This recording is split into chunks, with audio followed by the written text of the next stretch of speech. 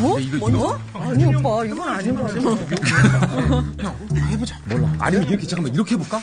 이렇게 해보자. 자, 이렇게. 세바는데 60m 혹시 아니야? 아, 이, 이렇게. 두 번째 나도 그 두 번째 그래 잠깐만.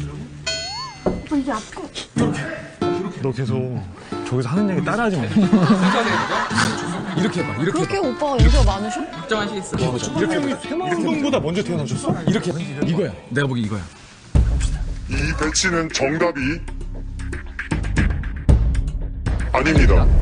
네. 정답은 패티김 데뷔, 내각, 와. 지석진 출생, 새마을 운동입니다. 야, 우리가 이거 하는, 야, 이거야. 야, 패트에서. 1958년에 데뷔하셨고요. 네. 석진이 형 진짜 새마운동 작년 태어난 거야? 야. 와 데뷔를 언제 하셨길래